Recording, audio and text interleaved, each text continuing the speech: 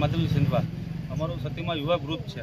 અમે હર વર્ષે eco friendly કરીએ છીએ નવી નવી થીમમાં કરીએ છીએ. અમારા ગ્રુપને આખલે એવો વિચાર્યો કે આપણે લલીપોપના ગણપતિ કરીએ. લલીપોપ ચોકલેટ આવે એના ગણપતિ.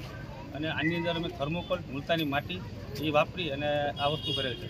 અને આશરે લલીપોપ છે ને ત્રણ હજાર લલીપોપ આવ્યા છે. અને આશરે મૂર્તિનો ખર્ચો છે આઠથી નવ હજાર રૂપિયાનો ખર્ચો છે. અને આ મૂર્તિ અમને કરવામાં આઠથી દસ દિવસ થયેલા છે. અને પર્યાવરણને ધ્યાનમાં રાખી અને ઇકો ફ્રેન્ડલી મૂર્તિ બનાવેલી છે. કારણ કે દરિયામાંનું વિસર્જન કરવાથી આપણે જીવજંતુને ખોરાકી મળી રહી અને પ્રદૂષણ ન ફેલાય. અમે તો લોકોને અપીલ કરીએ છીએ કે તમે લોકો ઇકો ફ્રેન્ડલી મૂર્તિ બનાવો. વિસર્જન કેટલા દિવસે? વિસર્જન અમે પાંચ પાંચ દિવસે કરવાના છે. મનીષ ગુજરાતમાં છે અને છેલ્લા બાર તેર વર્ષ ત્યાં સતીમાં યોગ હું ફરજ નિભાવું છું.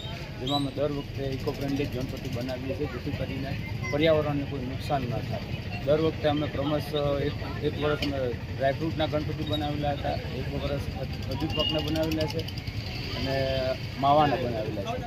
એમ પરંપરાગત દર વર્ષે ઇકો ફ્રેન્ડલી ગણપતિ બનાવીએ આ વખતે અમે ગણપતિ લોલીપોપ ચોકલેટના બનાવેલા છે જેમાં આશરે ત્રણેક હજાર નંગ યુઝ કરેલા છે અને મૂર્તિ બનાવવા માટે પોતાની માટી તથા લાકડું અને થર્મોકોલનો ઉપયોગ કરેલ છે.